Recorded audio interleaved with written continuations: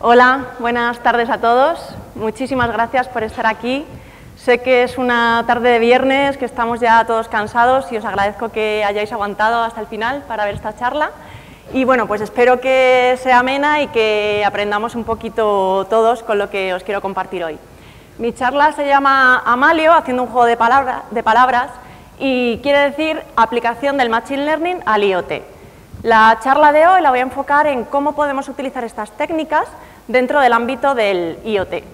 Entonces, bueno, aunque creo que muchos de vosotros ya me conocéis, me voy a presentar. Mi nombre es Carmen Torrano, trabajo en Telefónica, en Eleven Path, la unidad de ciberseguridad de Telefónica, y eh, bueno, recientemente estoy centrando los esfuerzos en todo lo que tiene que ver con ciberseguridad IoT, en una nueva iniciativa que se ha creado que bueno, eh, mezcla tanto la parte de IoT como la parte de ciberseguridad. Aparte de eso, tengo el gran honor de haber sido elegida una, una de las nueve CSEs que hay en España. Significa Chief Security Envoy, ¿vale? Esto me lo preguntan muchísimo. Y por si no conocéis el programa, pues se trata de dar un reconocimiento a diferentes personas del mundo de la ciberseguridad y bueno, pues han sido elegidos nueve, personas en España, nueve grandísimos profesionales que tengo el gusto de que estén conmigo aquí algunos de ellos hoy y también hay algunos en Ecuador.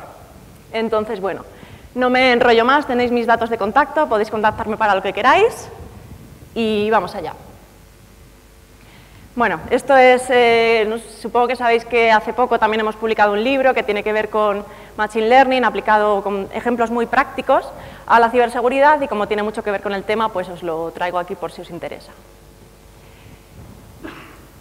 Como bien sabéis, la tecnología está cambiando el mundo en todos los ámbitos y el IoT es una de estas tecnologías que está muy en auge, que todos escuchamos y que efectivamente está irrumpiendo en todos los sectores. ¿no? Eh, predice que el año que viene, en 2020, a lo que quedan tres meses, vamos a tener 20.000 millones de dispositivos conectados. Esto es una barbaridad, nunca antes nos hemos enfrentado a un reto como este, nunca antes hemos eh, tenido que enfrentarnos a problemas de escalabilidad eh, en esta medida y, por tanto, pues esto supone un grandísimo reto. Más cuando vemos que esto influye a todos los sectores de la sociedad, desde los eh, smartwatches que llevamos todos, los electrodomésticos de nuestra casa, los marcapasos o dispositivos médicos, los juguetes con los que juegan nuestros niños, los coches conectados, súper importante, pero ya no solamente eso, sino cómo se comunica un coche con otros, cómo se comunica con el resto de elementos de la ciudad, con los semáforos, con los peatones. Estamos hablando de ciudades conectadas, de ciudades inteligentes, cómo se hace eh, la recolección de residuos, las, cámaras de vigilancia, las universidades, cómo se gestiona todo esto en una ciudad. Eh, por supuesto, tenemos temas de smart meters, eh, centrales eléctricas, sistemas críticos, etcétera. Entonces, bueno, creo que hablo a un público convencido y que no estoy diciendo nada nuevo si digo que aplicar la seguridad es algo imprescindible en todos los ámbitos y, cómo no, y por supuesto, también en el IoT. Para esto nos enfrentamos a diferentes retos, ya que el IoT tiene algunas características que lo diferencian de la seguridad más tradicional a la que estamos más acostumbrados. ¿no? Entonces, para ello he traído este esquema que nos permite diferenciar los tres elementos básicos de la arquitectura IoT. Por un lado tenemos los endpoints, que serían los dispositivos que habitualmente tendremos una interfaz de usuario para interaccionar con ellos y se van a comunicar a través de la red de comunicaciones, en este caso me voy a centrar más en la red celular, con una eh, determinada plataforma de IoT la cual nos va a permitir pues, tanto recoger datos de los dispositivos como interaccionar con ellos, mandarle una serie de comandos o eh, hacer diferentes acciones. Para ello podremos acceder a través de apps o tendrán APIs para integrarse con otros sistemas, etc. Entonces, lo que es realmente nuevo es esta parte que tenemos en, la izquierda. ¿no? Donde empiezan a aparecer los retos es en la parte de los dispositivos, desde el punto de vista de la seguridad. Porque en la otra parte, digamos que tenemos la seguridad un poco más tradicional o la que ya conocemos más, en la que llevamos años trabajando y ya tenemos un poquito más dominada. Sin embargo, cuando nos cambian las tablets, los móviles y los PCs por otro tipo de dispositivos que tienen unas características muchísimo, eh, muy diferentes, ¿no? pues porque son más pequeños, porque algunos no tienen sistema operativo, porque están distribuidos, porque no están asistidos, en muchos de los casos están dispersos geográficamente. Entonces, ¿cómo aplicamos la seguridad en este ámbito? Aparecen un montón de retos nuevos. Incluso aparecen nuevos protocolos. Y eh, pues en lo que estoy trabajando es eh, precisamente en esto, ¿no? en qué soluciones de seguridad podemos poner para proteger el ecosistema IoT. Aquí empiezan a aparecer pues, un montón de, elementos que tenemos que tener en cuenta. ¿no? Por ejemplo, eh, dar seguridad a lo largo de toda la cadena de suministro. En el IoT, eh, supongo que lo conoceréis, hay una cantidad de actores involucrados brutal, o sea, desde una cantidad de fabricantes de chipsets, de módulos de comunicaciones, de diferentes tipos de dispositivos que son súper heterogéneos, eh, luego ya eh, las redes, las plataformas, la nube, y empezamos con un sinfín de actores y lo que tenemos que garantizar es poder dar una seguridad end-to-end, porque no podemos ver solamente un, un rincón aislado, ¿no? sino que tenemos que ver toda esta cadena. Entonces esto es algo fundamental. Además de esto, como os decía, estamos protegiendo dominios muy diferentes, muy diversos, ¿no? Desde un coche conectado que no tiene nada que ver con un smart meter y que no tiene nada que ver con un sensor de, un tracker, ¿no? Entonces, ¿cómo aunamos eh, diferentes medidas de seguridad que sean válidas para cada ámbito específico y cómo lo adaptamos para las necesidades específicas de este ámbito? Y por supuesto también es fundamental el tema del awareness, ¿no? lo vamos a ver ahora después, como es algo muy importante y en el que no solamente es necesario que hagamos tecnologías lo suficientemente seguras, sino que seamos capaces de trasladar a los usuarios este nivel de awareness para que también eh, colaboren y podamos tener la seguridad en, en, todos los aspectos. ¿no? Porque si, por ejemplo, no hacemos prácticas fundamentales como cambiar una contraseña por defecto, pues vamos a ver que podemos tener muchos problemas. Bueno, eh, he querido reflejar aquí cuáles son algunos de, de las principales necesidades dentro del, IoT desde el punto de vista de la seguridad, que por supuesto hay muchos, pero aquí he, reflejado estos tres. ¿no? Por un lado es importante la identificación del dispositivo, es decir, vemos que muchos de los retos de seguridad necesitamos garantizarlos tanto en el mundo eh, IT tradicional, ¿vale? permitidme que ya lo llamo tradicional, aunque por supuesto no es así, al mundo IoT. Entonces necesitamos eh, aún garantizar esta identificación, esta autenticación. ¿Cómo sabemos que un dispositivo es el que dice ser y no es otro diferente? ¿Y cómo sabemos que es este el que se está comunicando con la plataforma? Es decir, necesitamos una autenticación mutua. También es muy importante, y este punto es en el que me voy a centrar más en la charla, el garantizar la visibilidad de los dispositivos, es decir, cómo se están comportando, ¿están haciendo aquello para lo que han sido diseñados o se están desviando de este comportamiento y están haciendo algo diferente? Esto es eh, algo muy importante eh, para que podamos detectar pues, si ha habido un fallo de configuración, si ha habido una infección por malware y vamos a ver algunas de las cosas que se pueden hacer en este ámbito. Pero no quería dejar de hablar de lo que os he comentado antes, ¿no? de la seguridad extremo a extremo. Es muy importante que tengamos una visión eh, general de todo el proyecto, de todos los elementos involucrados y podamos garantizar esta seguridad en cada uno de los elementos. Como os decía, me centro ahora más en la parte que tiene que ver con la visibilidad y cómo podemos garantizar que, que vemos cómo se comportan los dispositivos y eh, para ello pues he puesto el esquema básico, ¿vale? No sé si está un poquito oscuro, si lo veis bien. Tenemos los dispositivos que se comunican eh, en su forma normal, van a estar enviando, por ejemplo, si hablamos de Smart Meters, pues una serie de medidas a la plataforma a través de la red de comunicación y esto va a ser el comportamiento normal, que se irá repitiendo de forma regular y habrá un patrón relativamente frecuente. Pero ¿qué es lo que puede pasar? Puede empezar a pasar un montón de, situaciones, de casuísticas, que den lugar a potenciales ataques. Por ejemplo, ataques eh, dirigidos hacia Internet, que se haga una petición a un dominio malicioso. Puede empezar a pasar que alguien acceda a la propia plataforma y hay que recordar que si se accede a la plataforma podemos estar afectando a toda la granja de dispositivos que tengamos conectados y también puede haber ataques o eh, peticiones ilegítimas entre dispositivos, entre ellos mismos. Entonces, ¿cómo somos capaces de identificar todo este tipo de situaciones? Por tanto, tenemos aquí eh, uno de los grandes retos, ¿no? ¿Cómo sabemos que los dispositivos están haciendo aquello para lo que están diseñados y nada más? Bueno, pues cuando nos planteamos cómo damos solución desde el punto de vista de la seguridad a estos problemas, eh, nosotros hemos visto que tenemos tres posibilidades o tres lugares en los que en esta arquitectura plantar la solución. Por un lado, podemos ponerlo en el propio dispositivo. Podemos tener un agente que esté monitorizando el estado de seguridad y pues veamos qué es lo que está pasando ahí. Sin embargo, ¿cuál sería la limitación?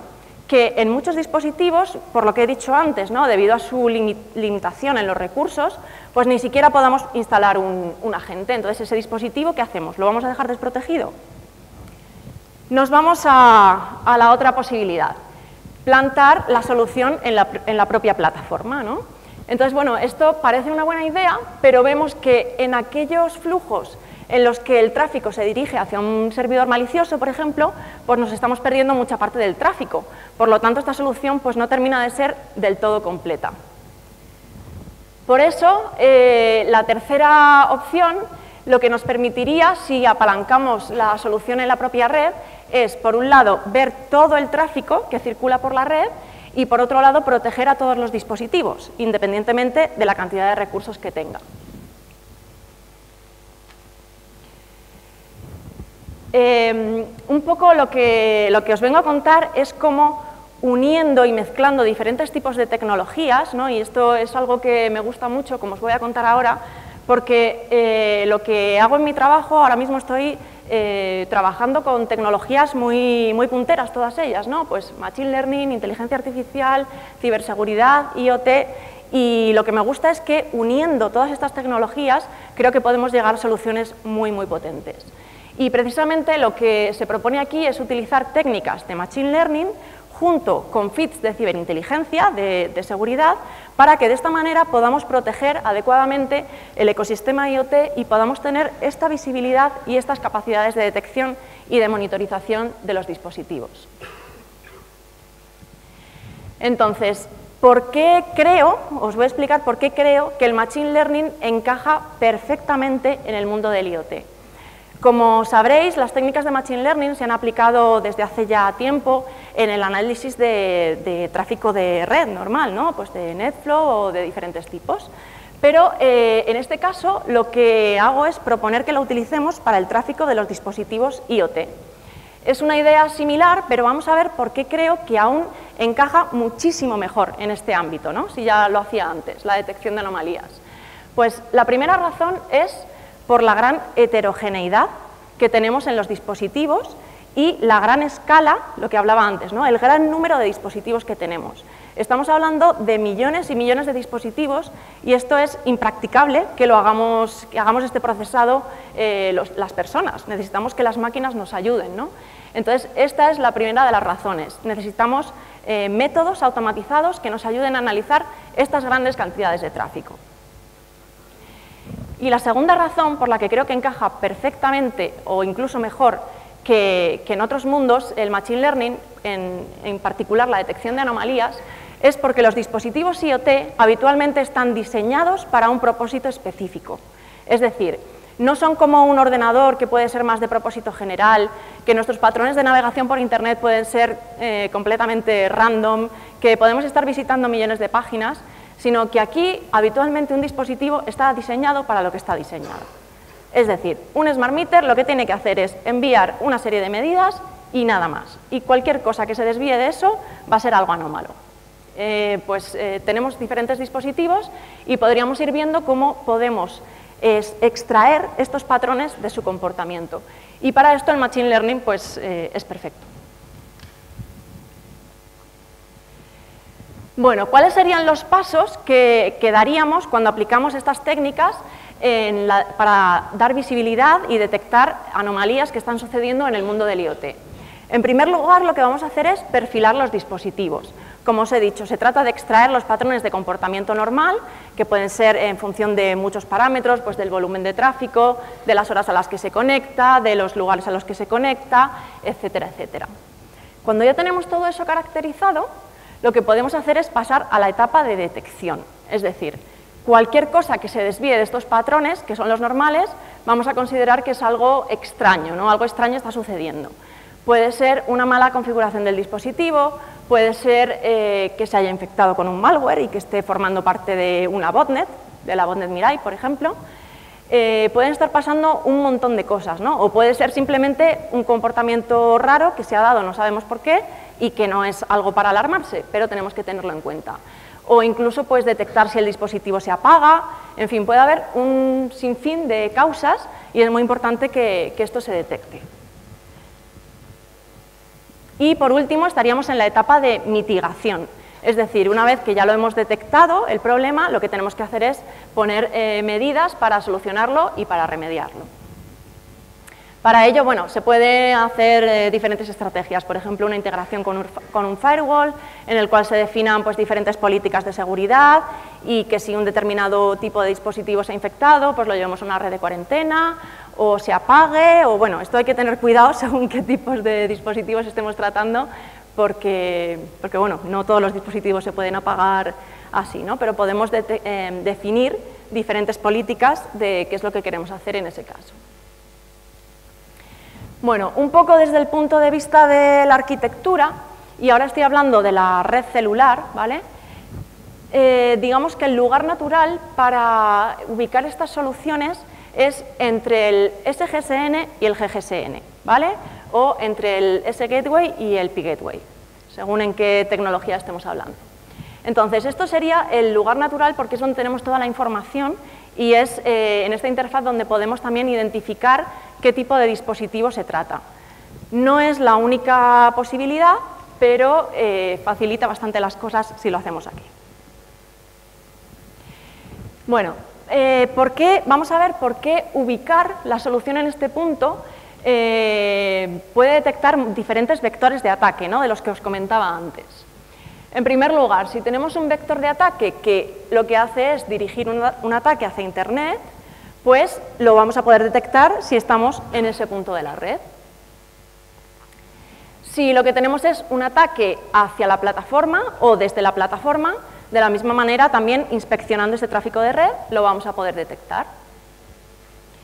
Y, por último, si tenemos eh, intentos de ataques entre dispositivos, pues también, si estamos en esta ubicación de la red, vamos a poder detectar incluso estos intentos de ataque, es decir, ataques que a veces ni siquiera llegan a efectuarse, pero sí que se han intentado, ¿vale? en caso de que la comunicación se tirara en algún elemento de la red un poquito más adelante.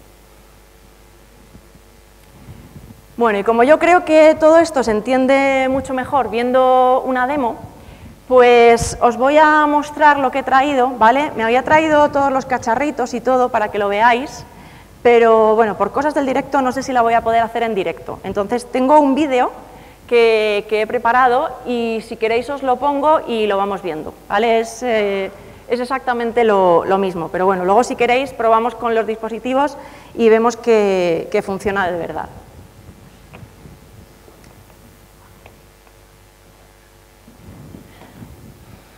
Vale, para explicaros la demo os voy a contar el escenario que hemos montado, ¿vale?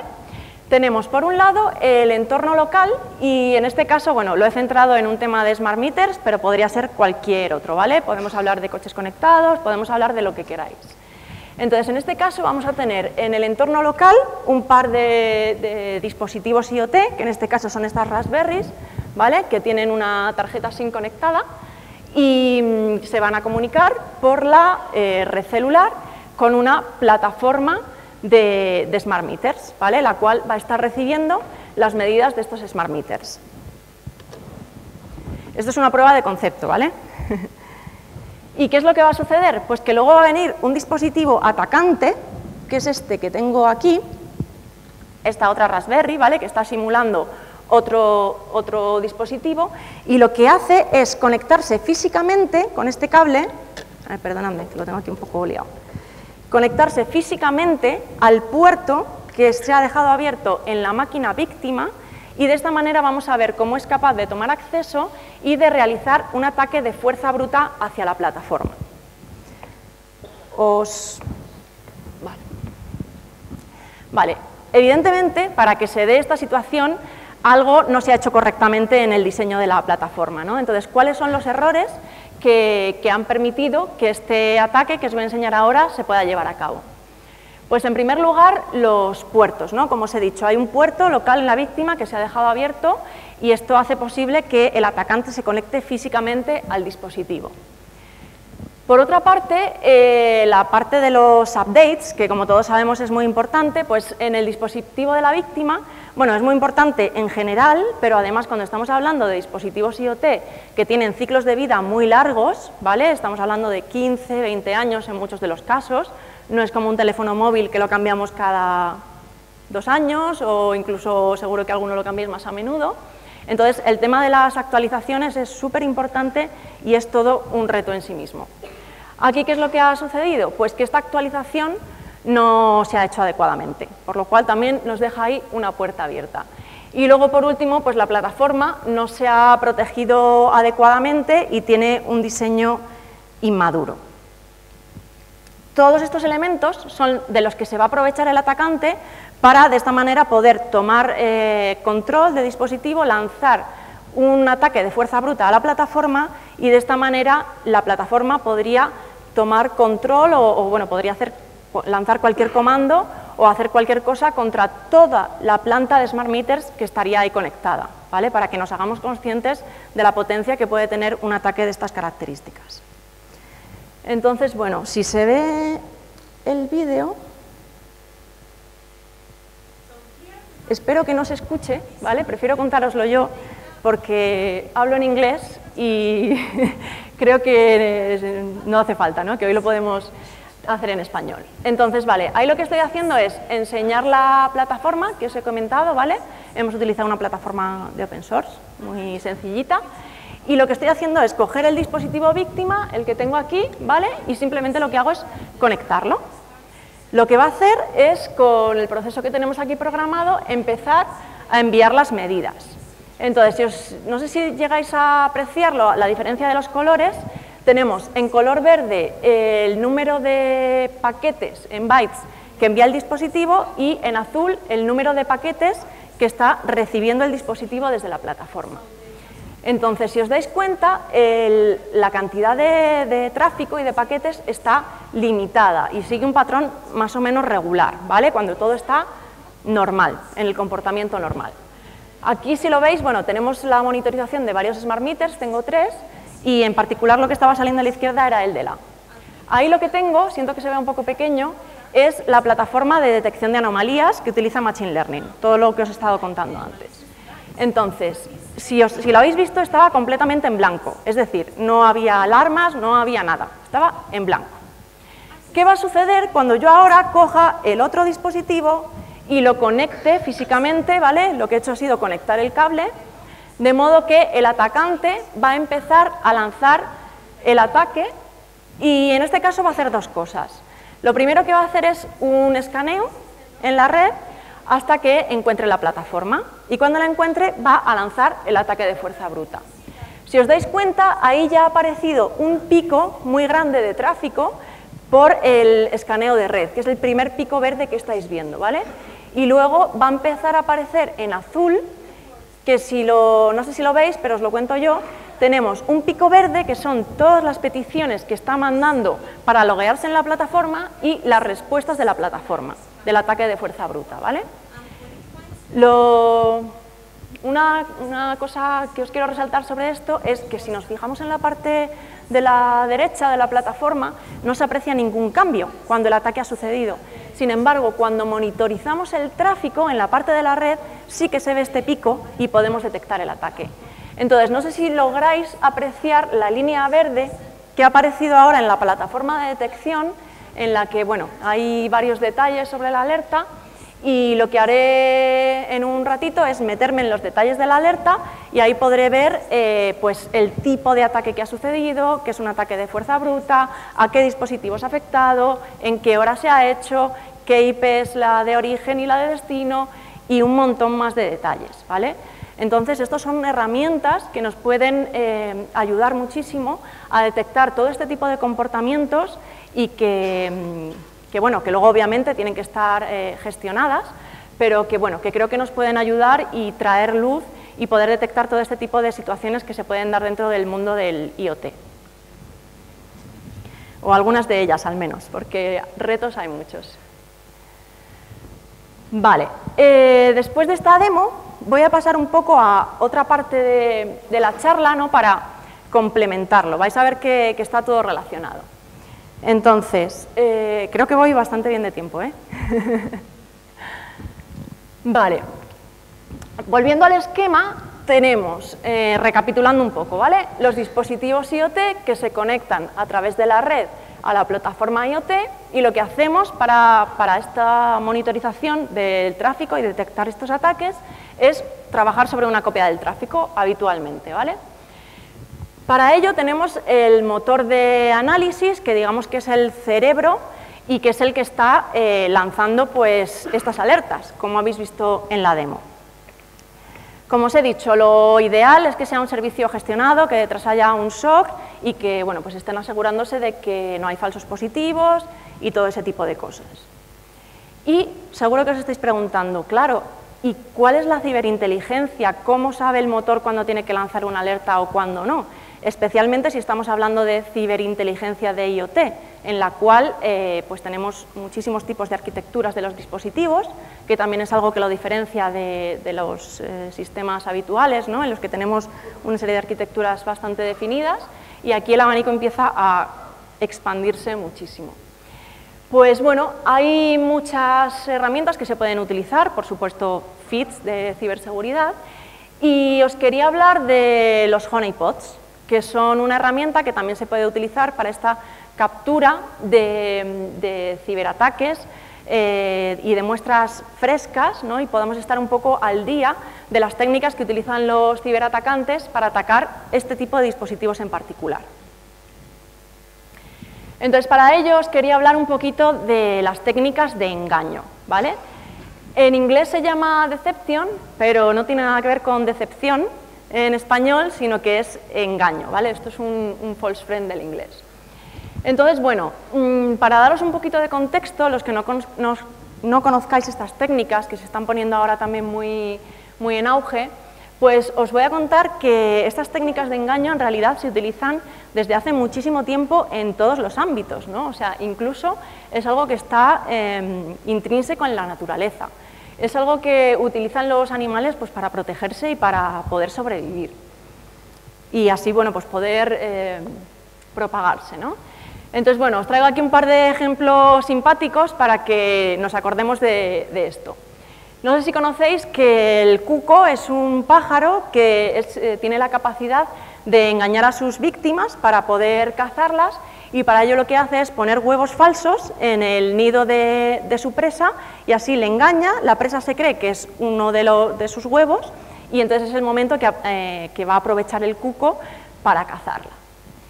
Y bueno, pues otro de los ejemplos eh, archiconocidos es el del camaleón, ¿no? que, bueno, pues al final tiene estas capacidades de camuflaje, entre comillas, o de eh, mimetizarse con el entorno, de modo que pueda pasar desapercibido a sus depredadores. Entonces, todo esto lo que está utilizando son técnicas de decepción. Y como la naturaleza es muy sabia, pues vamos a ver qué es lo que podemos aprender de ahí y qué es lo que nos podemos llevar al mundo de la ciberseguridad.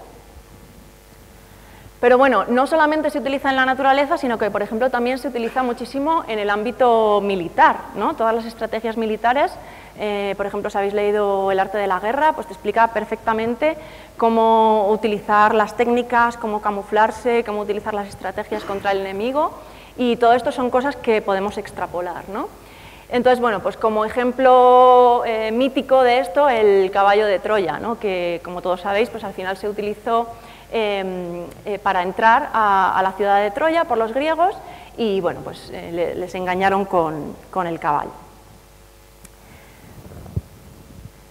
Hablando sobre honeypots, eh, ya un poco más en el ámbito de la, ciberseguridad, os voy a, dar la definición que dio Lance Spitzer, que es una de las primeras personas que empezó a trabajar sobre esos temas y que lo define como un recurso cuyo valor es que se pueda probar o que se pueda atacar o verse comprometido. Es decir, eh, lo representamos como un tarrito de miel porque lo que queremos es que sea atractivo a los ciberatacantes para que de esta manera podamos ver cuáles son las técnicas y los métodos que utilizan y podamos aprender de ello. Es decir, necesitamos saber cuáles son las últimas tendencias en los ataques para que podamos eh, extraer la ciberinteligencia que nos permite protegernos de esto y tomar las medidas de seguridad adecuadas.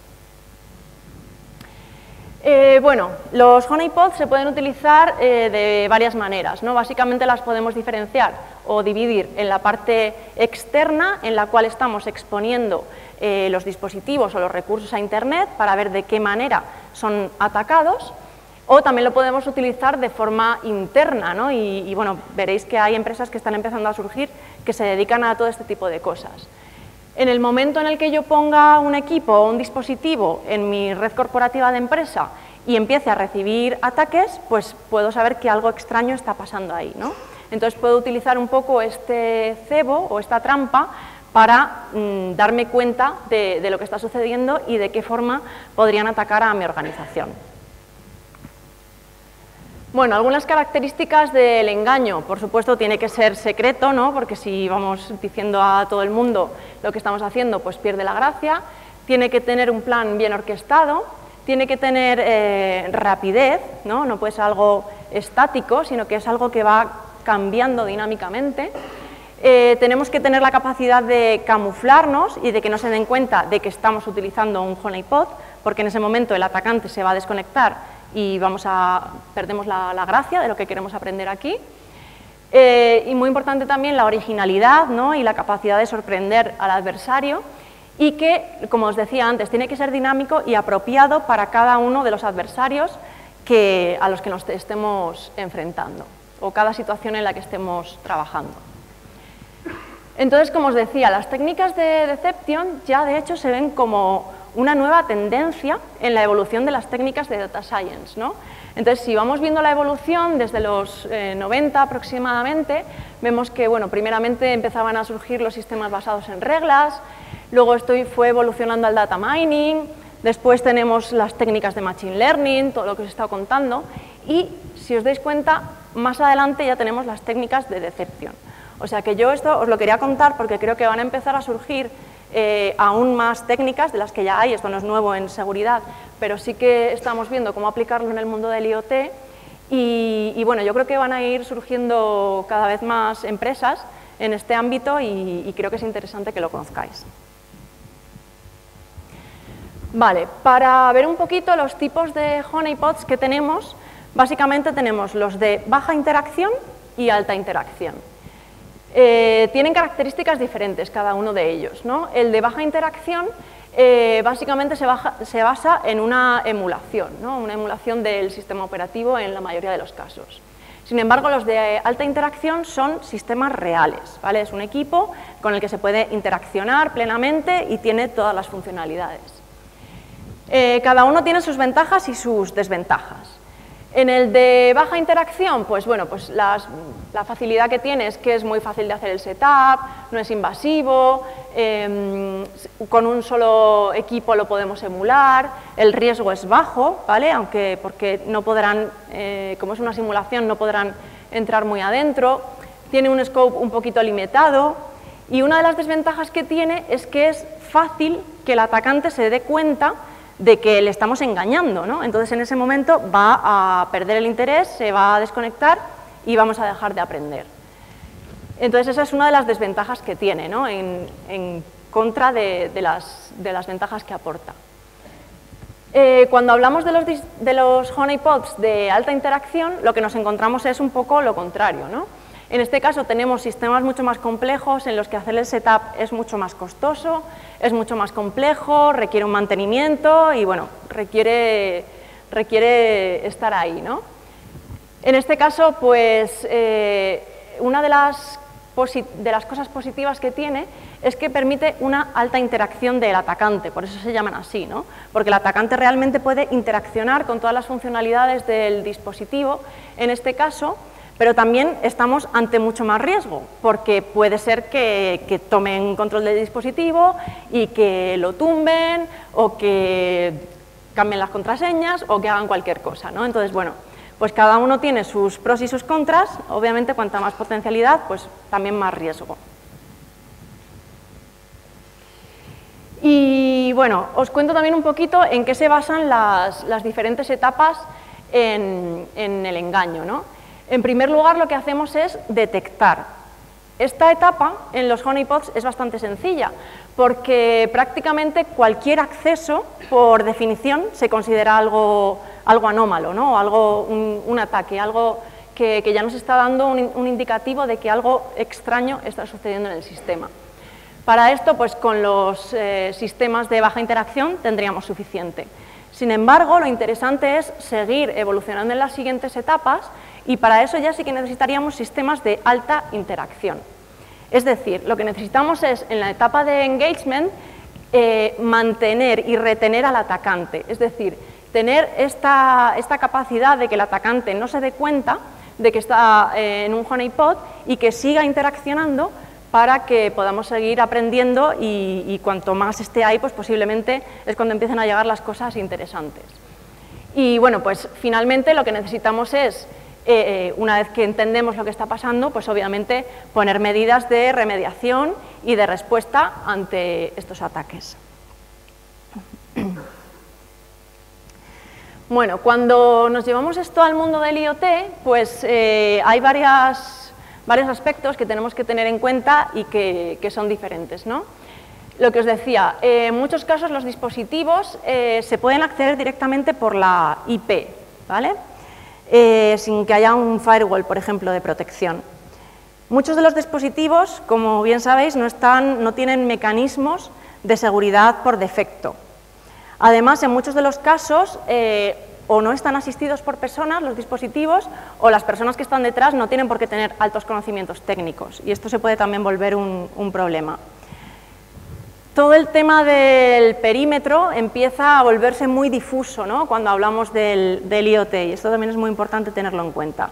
Y lo que os comentaba antes, ¿no? la gran variedad de arquitecturas que tenemos en, el IoT. Ya no estamos hablando solamente de ARMs, sino que la, cantidad de arquitecturas es muchísimo mayor.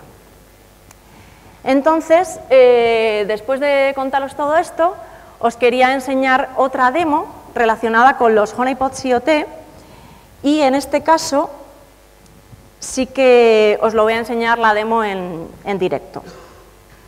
Entonces, simplemente por daros un poquito de contexto de lo que estamos haciendo aquí, eh, hemos recopilado una serie de dispositivos físicos y simulados que están expuestos a Internet. Entonces, eh, lo que hemos hecho ha sido recopilar eh, unos cuantos para ver de qué manera, cuando los exponemos a Internet, en algunos casos con contraseñas débiles, en otro caso medias y en otro caso contraseñas con mucho más robustas, pues ver qué, qué sucede. ¿no? Esto ha sido un poco un experimento que hemos hecho. Entonces, bueno, pues podemos tener algunos dispositivos conectados, como pueden ser algunos de los que veis aquí, y vamos a ver qué es lo que sucede si os muestro el dashboard. ¿Lo estáis viendo?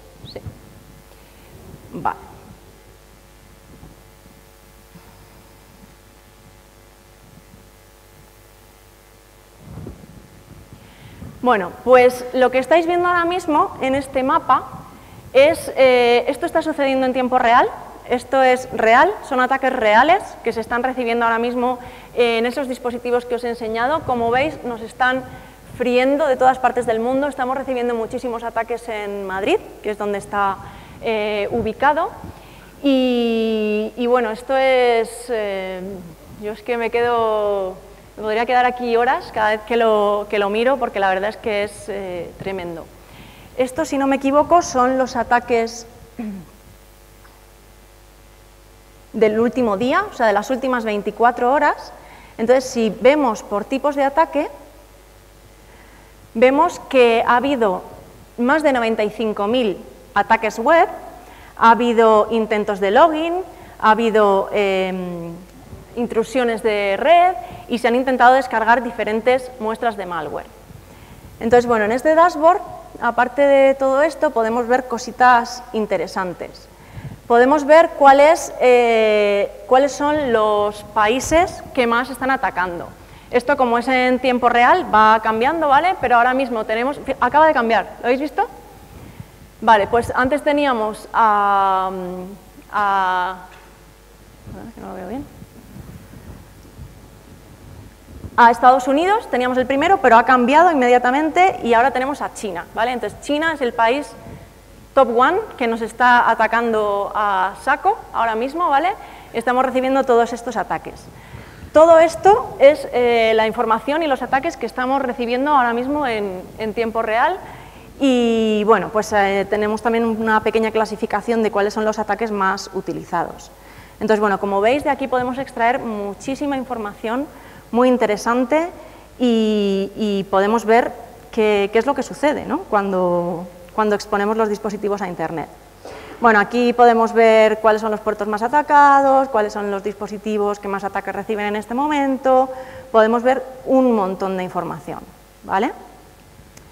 Entonces, em, como os comentaba, hay algunos de los dispositivos que los hemos puesto con una contraseña débil, ¿vale? En ninguno de los casos están sin contraseña, pero sí que hay algunas contraseñas que son muy, muy sencillas. Y una de las cosas que quería llamar la atención es que, a pesar de que lo hemos dicho mm, millones de veces, no quiero dejar de insistir en que es muy, muy importante que cambiemos las contraseñas por defecto de los dispositivos, por favor, porque esto es lo que, lo que sucede. ¿vale? Entonces, a pesar de que lo hemos dicho muchísimas veces, sigue sucediendo a día de hoy. De hecho, es una de las eh, principales causas de ataques en el IoT. Creo recordar que alrededor del 80% de los ataques se producen por, estas causas.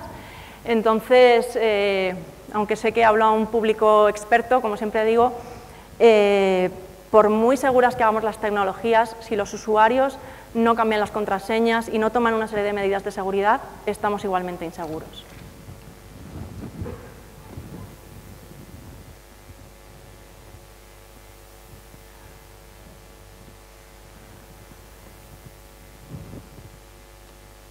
Bueno, y después de que habéis visto esto, os cuento algunas curiosidades.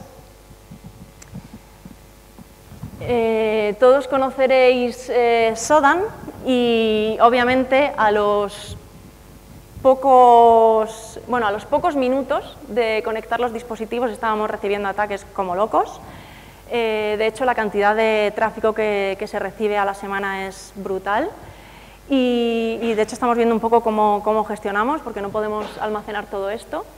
Y pues al poquito, al no sé si par de días o algo así, inmediatamente estos dispositivos ya aparecían en Sodan, ¿vale? Entonces, en fin, esto, el que no corre vuela. Algunas curiosidades de lo que hemos visto aquí, en los primeros días de, de activación del Honeypot, recibimos más de 87.000 eventos y bueno, pues como curiosidades de, respecto de las IPs de origen, detectamos más de 4.000 IPs diferentes y bueno, como curiosidad, 98 eh, de estas IPs estaban atacando todos los días a todos los dispositivos. Supongo que sería un bot o algo así, pero esto es lo que se veía. Y luego, pues de, hubo 106 países identificados que estaban atacando y los top 3 en ese momento, que como sabéis va cambiando, pero en ese momento teníamos a USA, Rusia y Holanda. Respecto de los tipos de ataques, eh, es una clasificación muy por encima, ¿vale? no hemos entrado en detalles, pero bueno, podemos ver que una gran cantidad de los ataques están haciendo escaneos de red y luego vemos que uno de los ataques también más utilizados es la botnet Mirai, tanto Mirai como las diferentes variantes que pueda tener. Y luego ya tenemos una categoría de otros en lo que pueden entrar muchos ataques diferentes.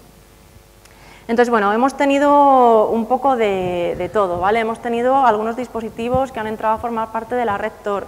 Hemos tenido dispositivos que nos los han tumbado o porque el atacante los ha desconectado o porque el dispositivo no tenía ya más capacidad para soportar todos esos ataques. Y bueno, pues eh, nuevamente, ¿no? yo creo que esto nos pone muy en la cara la importancia de, cambiar las contraseñas y de que tomemos medidas de seguridad porque los ataques no paran. O sea, es esto que se dice que Internet es la, es la jungla, Creo que aquí se ve bastante claramente y bueno, pues quería un poco compartir este experimento que, hemos hecho. Para Ah, bueno, esto es lo que os he contado. Y bueno, para ir finalizando, que no me quiero enrollar mucho más, eh, pues terminamos con algunas conclusiones. ¿no? Eh, lo que os comentaba, el dar visibilidad y saber cómo se están comportando los dispositivos es un reto fundamental dentro del IoT y es muy importante que tomemos medidas que nos permitan protegernos y dar esta visibilidad. Como os he comentado, las técnicas de Machine Learning creo que encajan perfectamente utilizando las capacidades que tienen de detectar anomalías para detectar cuándo los dispositivos IoT tienen un comportamiento anómalo. Los honeypots, como hemos visto, pueden ser eh, fuentes de ciberinteligencia que nos ayuden a captar nuevos ataques o zero days o nuevas tendencias en los ataques y por tanto los podemos utilizar como, fuente que alimente los sistemas de detección. Lo vuelvo a repetir porque no me voy a cansar de repetir que por favor cambiéis las contraseñas por defecto. Y bueno, pues un poco eh, la conclusión de lo que os he mostrado es cómo combinando técnicas de Machine Learning y de, ciberseguridad podemos crear soluciones que nos permitan proteger el entorno IoT. Esto ha sido todo por mi parte. Muchísimas gracias por vuestra atención. De verdad que aprecio que estéis aquí y espero que nos veamos pronto.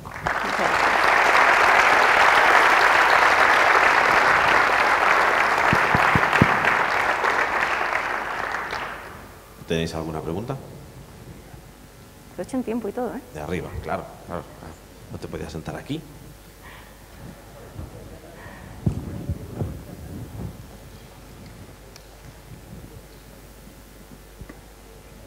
Hola Carmen, muy buena charla, me ha parecido muy interesante. Has comentado el tema de que al final preferís trabajar a nivel de sniffing de red, porque eh, tenéis limitaciones al final técnicas de dispositivo y demás. ¿Cómo ves, eh, por ejemplo, en la red Mirai, que al final haya muchas cámaras de vigilancia conectadas y demás? ¿Cómo es vuestro approach para hacer el sniffing de todos los dispositivos IoT que ya se encuentran dentro de las redes de, los, de las empresas y ya disponen de, reglas de NAT, en la cual no es tan sencillo hacer ese sniffing? Vale. Eh, bueno, como os he comentado, aquí lo que trabajamos es con una copia del tráfico. Y creo que lo he dicho, nos estamos eh, enfocando sobre todo en el tráfico de la, red celular. ¿vale?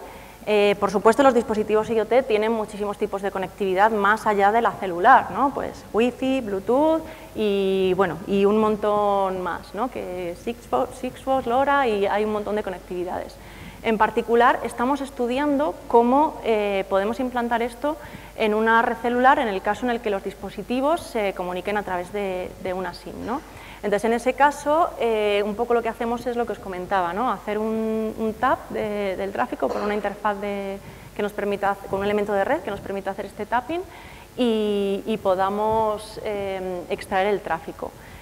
Es cierto que las IP son dinámicas en muchos de los eh, casos, entonces en este caso, cuando hablamos de red celular, lo que utilizamos para identificar los dispositivos es el IMSI de la SIM, por ejemplo, o el ICCID. Se pueden utilizar diferentes eh, identificadores que nos permitan eh, identificar de forma unívoca, permíteme la redundancia, a cada uno de los dispositivos.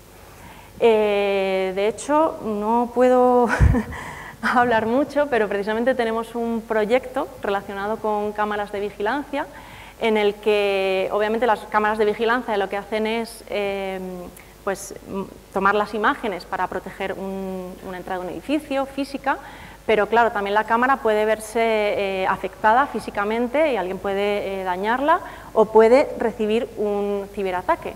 Entonces lo que estamos haciendo es ver, eh, lo que estamos haciendo es coger el tráfico de esas cámaras para protegerlas de esta manera que os he contado. ¿vale? Y así podemos ver pues, si la cámara se ha infectado, si está, como muy bien decías, ¿no? siendo víctima de una botnet Mirai, porque vemos que el ataque de Mirai está súper extendido, es de los que más están sucediendo en IoT y, en todas sus variantes. ¿no? Entonces es muy importante tener, tener toda esta visibilidad y poder tomar medidas de remediación contra esto. No sé si con esto te contesto o si necesitas algo más. ¿Alguna pregunta más? ¿He visto antes otra mano? Bueno, muy